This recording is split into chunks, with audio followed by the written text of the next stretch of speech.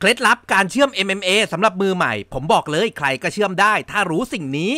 สวัสดีครับเพื่อนๆอยู่กับบูมในช่อง P3B และนี่ก็คือช่วง P3B DIY งานช่างง่ายๆ ที่เราสามารถทำเองได้ที่บ้านครับ ทุกคนครับสมัยก่อนเนี่ยผมเคยหัดเชื่อมที่เราเรียกว่าการเชื่อมแบบ MMA หรือการเชื่อมแบบใช้ทูบแล้วใครที่หัดเชื่อมด้วยวิธีนี้จะรู้เลยครับว่ามันไม่ได้ง่าย ทั้งการปรับไฟเชื่อมทั้งการเดินแนวเชื่อม ทั้งการ spark ให้ไฟติด และไหนจะสะเก็ดกระเด็นไหนจะควันธูปเชื่อมอีก เล่นเอาท้อไปเลยครับ สมัยนั้นอะผมฝึกเป็นวันเลยนะ ฝึกเดินลายธูปเชื่อม ฝึกยังไงก็ไม่สวย รู้สึกว่ามันยากมากๆ จนสุดท้ายก็ยอมแพ้ครับ เอาตู้เชื่อมอะ วางทิ้งไว้จนฝุ่นเกาะแบบนี้หลังจากเวลาผ่านไป ผมไปใช้ตู้ MIG อยู่สักพักหนึ่งแล้ววันนี้ผมจะกลับมาเชื่อม MMA อีกรอบจะบอกทุกคนก่อนนะครับว่าคลิปวิดีโอนี้ไม่ใช่คลิปวิดีโอสอนเชื่อม โดยวันนี้ผมจะมีตัวช่วยครับ นั่นก็คือเจ้าทูบเชื่อมตัวนี้ เขาบอกว่ามือใหม่ใช้ตัวนี้จะทำให้เราเชื่อมง่ายขึ้น เดี๋ยวเราไปทดสอบกันดูครับ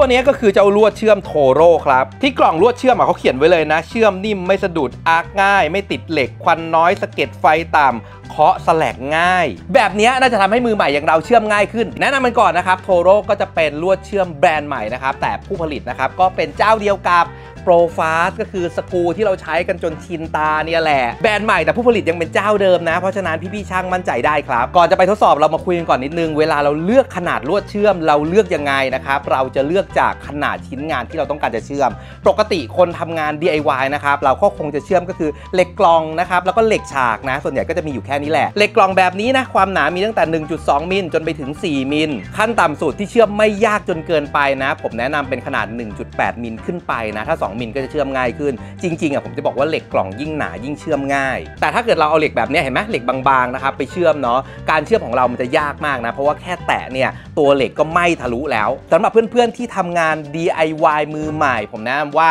ให้ใช้เหล็กฉากแบบนี้ในการทำงาน เพราะเหล็กประเภทนี้จะค่อนข้างหนาแล้วก็เชื่อมง่าย เดี๋ยวนี้เวลาเราไปซื้อเหล็กนะครับมักจะมีอยู่ 2 ชนิดก็คือเหล็กดำกับเหล็กชุบกาวไนท์เหล็กเหล็กดำก็คือเหล็กที่มันเป็นเนื้อดำๆมาเพียวๆเลยนะไม่ได้ชุบอะไรนะครับส่วนเหล็กชุบกัลวาไนซ์ก็จะเป็นแบบนี้นะเขาจะเอาไปชุบสารกัลวาไนซ์ส่วนข้อดีของเหล็กกัลวาไนซ์อะมันชุบมาแล้วไงเพราะฉะนั้นอะเราไม่ต้องกังวลกับการทาสีกันสนิมหลังทำงานเสร็จทันที แต่ยังไงตรงตำแหน่งรอยเชื่อมอะก็คงต้องเก็บสีอยู่นะ ซึ่งบางคนก็บอกว่าเหล็กกัลวาไนซ์มันเชื่อมยากกว่า แน่นอนนะครับวัสดุต่างๆ พอไปทำสี หรือทำการเคลือบนะครับการเชื่อมก็จะยากขึ้นเล็กน้อย ถ้าใครอยากหัดให้เชื่อมง่ายเลย ก็แนะนำให้หัดเริ่มจากเหล็กดำนะครับลวดเชื่อมตัวนี้เป็นขนาด 2.6 มิลนะครับเหมาะกับเหล็กที่มีความหนาตั้งแต่1-3มิล เพราะฉะนั้นคนที่หัดเชื่อมหรือทำงาน DIY ผมแนะนำให้ซื้อลวดเชื่อมขนาด 2.6 มิลแบบนี้ครับ ต่อมาคือการปรับไฟเชื่อมเป็นเรื่องที่ถกเถียงกันเยอะมากๆ บางคนก็ให้เริ่มจากไฟอ่อนก่อน บางคนก็ให้เริ่มจากไฟแก่ก่อน บางคนก็บอกว่าเหล็กหนาเท่านี้ลวดเท่านี้ต้องปรับไฟเท่านี้ อันนี้แล้วแต่ในการเชื่อมแต่ละคนอาจจะแตกต่างกันไปครับ เพราะเวลาที่เราเชื่อมระยะทูบเชื่อมแต่ละคนวางต่างกันเนาะความเร็วในการเชื่อมแต่ละคนแตกต่างกันการแช่ หรือการเขี่ยสปาร์กแต่ละคนก็มีวิธีต่างกัน เพราะฉะนั้นการปรับไฟจะเป็นเทคนิคของแต่ละคนครับ โดยปกติรวดเชื่อมเบอร์ 2.6 แบบนี้นะครับ กับเหล็กไม่เกิน 4 มิลนะครับ เราก็จะปรับไฟอยู่ที่ประมาณ 70 ถึง 120 แอมป์ครับ โดยการปรับไฟปกตินะ ส่วนตัวนะ ผมจะเริ่มจากการปรับไฟแก่ก่อน แต้มดูเลยนะครับว่ามันเกิดบ่อหลอมที่เราพอใจหรือยัง และการขยับธูปเชื่อมของเราอะทำทันหรือเปล่า ถ้าทำไม่ทันนะครับ เดี๋ยวเหล็กมันจะทะลุแล้วมันก็จะไหม้ เพราะฉะนั้นเราก็ค่อยมาลดไฟครับ ซึ่งข้อข้อดีของการปรับไฟแก่ไว้ก่อนนะครับ มันจะทำให้เรา spark ติดง่ายนะครับ แล้วก็เกิดบ่อหลอมเร็วทำให้เราหัดเชื่อมได้ง่ายครับ ต้องออกตัวก่อนเลยนะ ถึงผมจะเคยทำคลิปวิดีโอแนะนำเพื่อนๆในการเชื่อมตู้ MIG นะครับ แต่การเชื่อม MMA เป็นคนละเรื่องกันเลย ผมจะบอกว่าผมเชื่อม MMA ไม่สวยครับ ผมเนี่ยพยายามหัดเชื่อม MMA หลายครั้งแล้วนะ แล้วก็เชื่อมไม่สวย ที่ผ่านมานะ แค่เขี่ยให้มัน spark ติดแล้วเชื่อมต่อมันยังยากเลย แล้วพอเชื่อมติดได้นะสะเก็ดไฟก็กระเด็นกระจุยกระจายควันท่วมไปหมดเลยทุกคน แล้วงานที่ออกมามันก็ดูไม่เรียบร้อยเป็นตะปุ่มตะป่ำวันนี้ผมจะลองกลับมาหัดเชื่อม MMA อีกครั้งหนึ่งด้วยลวดเชื่อมโทโร่ตัวนี้เนี่ยแหละครับ มาดูซิว่าคนที่เชื่อมไม่เก่งอย่างเราเนี่ยหัดแล้วมันจะเชื่อมง่ายขึ้นจริงหรือเปล่า หน้าตาก็เหมือนลวดเชื่อมธรรมดาแบบนี้เลยครับ ปกติเนี่ยผมต้องตั้งสมาธิกว่าจะเขี่ยธูปติด อันนี้คือแตะปุ๊บติดปั๊บเลย ก็ไม่แน่ใจว่าฟลุกหรือเปล่านะครับ แต่พอแตะปุ๊บมันก็ติดทุกที แล้วจากที่ลองดูนะครับ ก็ไม่มีอาการที่ลวดไปติดกับเหล็กครับ ทุกคนมันไม่ต้องเขี่ยไม่ต้องคือแตะปุ๊บยกนิดนึงคือแบบติดเลย ให้ทุกคนดูนะครับว่ามันเชื่อมง่ายจริงๆนะครับ ผมไม่เคยรู้สึกว่าการเชื่อม MMA เนี่ยมันง่ายขนาดนี้มาก่อน ทีนี้ผมลองปรับไฟแล้วก็เชื่อมยาวๆดูนะครับ ก็เชื่อมได้ลื่นดีครับ ไม่มีสะดุด บางคนบอกว่าเหล็กกาวไนท์เนี่ยมันเชื่อมติดยากนะครับจะเชื่อมเนี่ยต้องขัดผิวออกก่อนแต่อันนี้ผมไม่ได้ขัดผิวนะ เชื่อมติดได้เลยเหมือนกัน เดี๋ยวลองไล่ยาวๆดูสักแถวหนึ่งครับเพื่อนๆจะเห็นว่าการเชื่อมของผมอะไม่มีทูบติดแล้วก็ไม่มีสะดุดเลยนะครับ สามารถเชื่อมได้แบบลื่นๆเลย และการเชื่อมก็กินเนื้อเหล็กได้ดีนะครับไม่มีสะเก็ดไฟกระเด็นออกมาเยอะให้เลอะเทอะชิ้นงาน เพื่อนๆเห็นที่ผมเชื่อมเมื่อกี้ใช่ป่ะคือปกติลวดเชื่อมตัวเก่าที่ผมใช้ใช่ป่ะเวลาที่เอาตัวธูปไป spark แล้วอะมันจะเป็นประกายไฟแป๊บขึ้นมาเราต้องจับจังหวะ ให้ประกายไฟกับตัวธูปแล้วก็เหล็กอะมันต่อกันเนาะเราจะเห็นแสงไฟข้างในมันต่อกันอะแต่อันนี้คือผมจะบอกว่าแค่เอาตัวธูปแตะลงไป แตะลงไปนะแล้วยกขึ้นนิดเดียวเบาๆเลยนะครับ ไม่ต้องสะกิดไม่ต้องอะไรเลยนะ ไม่ต้องเขี่ยเลยนะ แตะแล้วยกขึ้น คือไฟที่ติดอะมันไม่ใช่ติดแล้วฟุบดับนะ มันติดแล้วมันจะเหมือนมังกรพ่นไฟอะมันพ่นฟู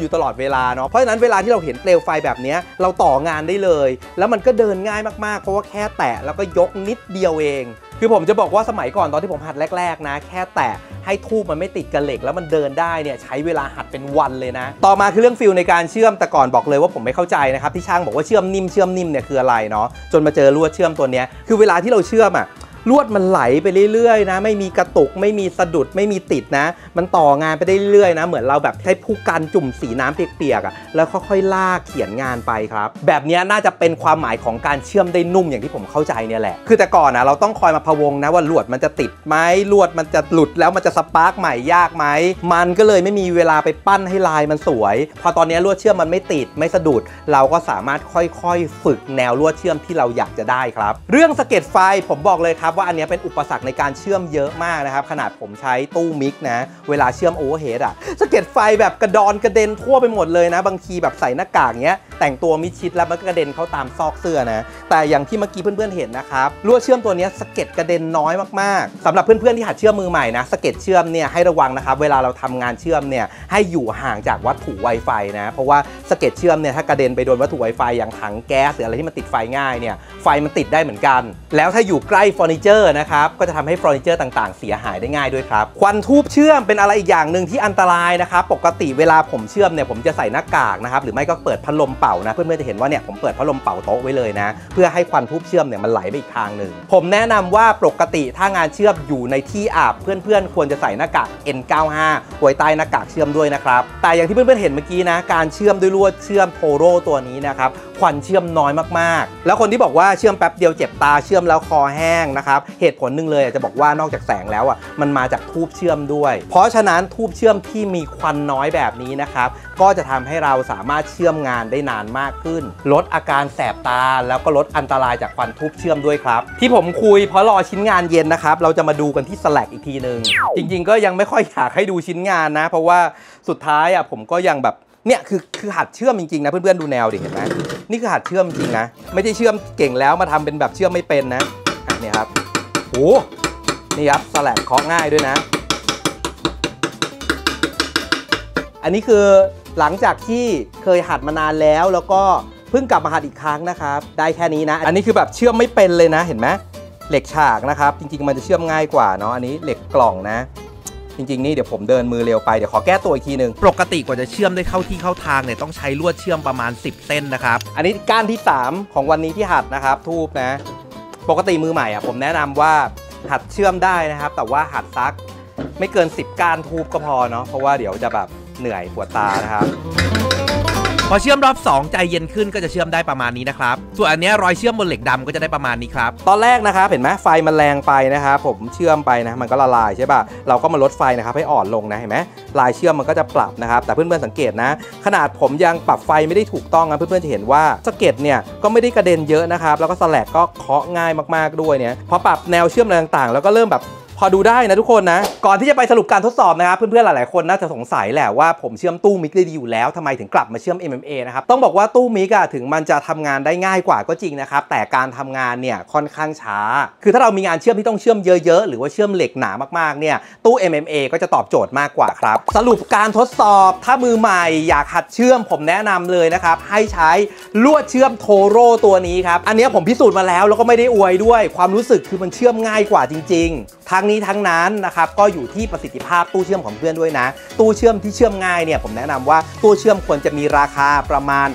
3,500 บาทขึ้นไป คือเคยลองตู้เชื่อมตัวละแบบพันกว่าบาทแล้วมันก็อาจจะแบบเชื่อมยากกว่านิดนึงอะ่ะสำหรับพี่ช่างมืออาชีพที่อยากลองใช้ ผมแนะนำซื้อไปลองเลยครับ เพราะว่าจากที่ใช้งานนะมันเชื่อมนุ่มมากๆทำงานได้เร็วขึ้น ควันน้อยไม่แสบตา แล้วก็ไม่ค่อยมีสะเก็ดไฟมากวนเราเวลาทำงาน ชิ้นงานของเราเนี่ยก็จะสวยขึ้นแล้วก็เก็บงานน้อยลงครับ ช่วยพี่ๆช่างประหยัดเวลาในการทำงานครับ เลือดเชื่อมตัวนี้นะครับใช้ได้หมดนะทั้งเหล็กเหนียวเหล็กดำเหล็กกัลวาไนซ์ที่เขาว่าเชื่อมยากๆเนี่ยผมลองเชื่อมดูก็เชื่อมได้ง่ายๆเลยครับการเชื่อมเชื่อมงานให้ติดไม่ใช่เรื่องยากครับ แต่การเชื่อมให้สวยเป็นงานศิลปะแล้วก็งานฝีมือต้องฝึกกันไปครับ ตัวผมเองก็ยังคงต้องฝึกอยู่เช่นกันสำหรับเพื่อนๆที่กำลังหัดเชื่อมอยู่กำลังทำงาน DIY อยู่ หรือพี่ๆช่างมืออาชีพทที่อยากหาลวดเชื่อมดีๆ ไว้ใช้ ผมแนะนำให้ลองลวดเชื่อมโทโร่ตัวนี้เลยครับสินค้าจะขึ้นเป็นลิงก์อยู่ในวิดีโอตรงนี้นะครับ แล้วก็อยู่ใต้คลิปวิดีโอด้วย เพื่อนๆ ไปกดสั่งซื้อเองกันได้เลยครับ และขอบคุณทุกคนนะครับ ที่เข้ามาติดตามชมนะครับ อย่าลืมกดติดตาม กดกระดิ่งเป็นกำลังใจให้ผมพาผมไปยอด8แสนซับสไคร b e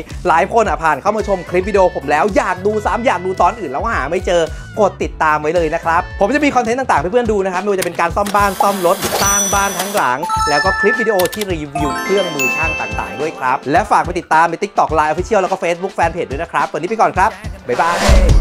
จะไปให้ผมด้วยนะครับ